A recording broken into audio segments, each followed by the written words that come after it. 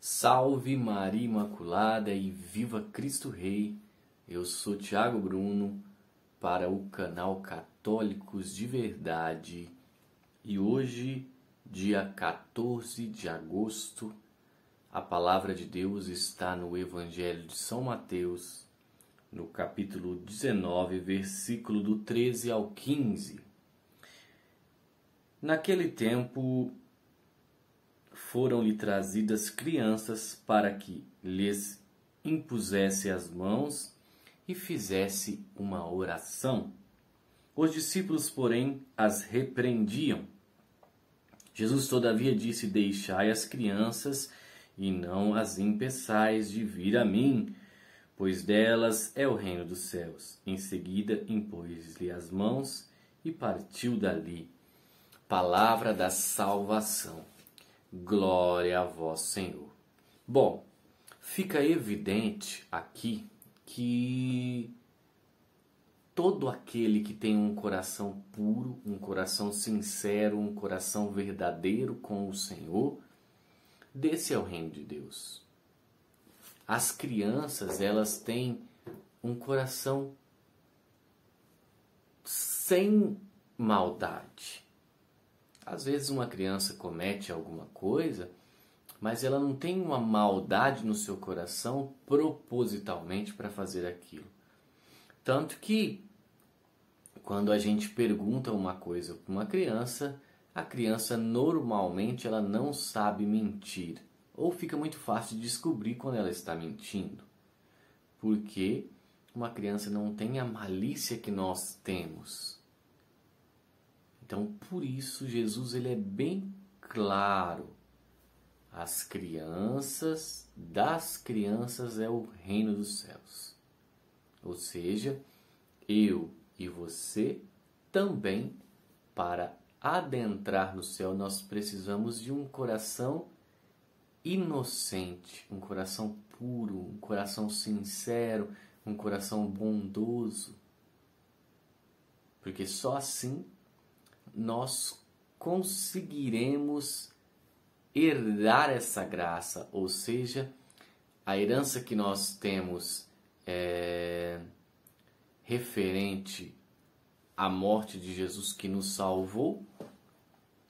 Então, essa herança nós conseguimos é, abrir as portas dela, ou seja, é um tesouro que nós conseguimos abrir as portas desse tesouro quando nós temos um coração inocente, quando nós temos um coração puro. Vale ressaltar hoje que é dia de São Maximiliano Maria Coupe.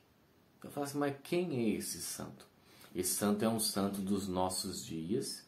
Ele é um santo que morreu na Segunda Guerra Mundial e é muito interessante que São Maximiliano ele morre, ele se martiriza porque ele troca a sua vida pela vida de um pai de família. O pai de família ia morrer fuzilado e fala: "Oh, Senhor, eu não vou conseguir ver mais minha filha, minhas filhas e minha esposa". E daí, comedido de caridade, ele se propõe a trocar, a morrer para que um pai de família continue vivendo? Será que eu e você, nós, é, teríamos essa coragem de dar sua vida pelo outro, muitas vezes o outro que a gente nem conhece? Por isso que a palavra de Deus é, é, é tão viva e eficaz quando Jesus fala assim. É, sobre dar a vida para o outro. Ele deu a vida por uma pessoa que ele nem conhecia. Será que nós dar a vida para um amigo, até Jesus fala isso, dar a vida para um amigo, até que é possível, mas dar a vida para um desconhecido, uma pessoa que a gente não gosta, e São Maximiliano Maria Kolbe o fez isso. Se eu não estou enganado, São Maximiliano ele tem uma frase que é muito interessante, que é sobre faz-me santo, Senhor, nem que seja paulada. Se eu não tô, engraçado, ele falava isso. Faz-me santo, Senhor, nem que seja nas burdoadas, para que eu aprenda isso. E isso é, é, é, essa decisão radical, né, de um santo que é consagrado a Maria e que pregava que nós podemos receber as graças pela intercessão de Maria, tudo que nós quisermos pela intercessão de Maria.